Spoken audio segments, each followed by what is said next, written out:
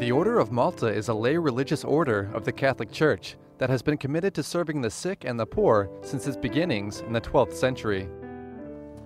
The current Grand Master, Fra Matthew Festing, recently visited the American University in Rome to explain how the order carries out its mission of caring for those who need it the most.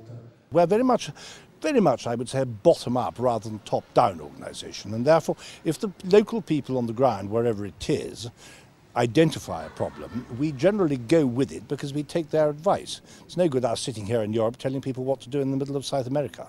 The Order of Malta currently has operations spanning the globe, including in the Horn of Africa, where a famine continues to devastate the local population.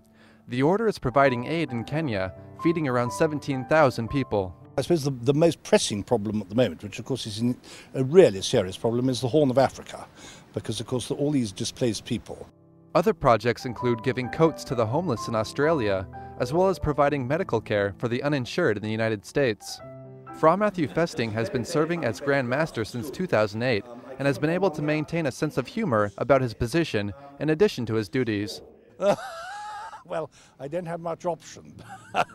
you can either you can describe it either as a life sentence or a death sentence. I don't know which which is more appropriate, but you know, I'm there. I was elected, and I then have to get on with it.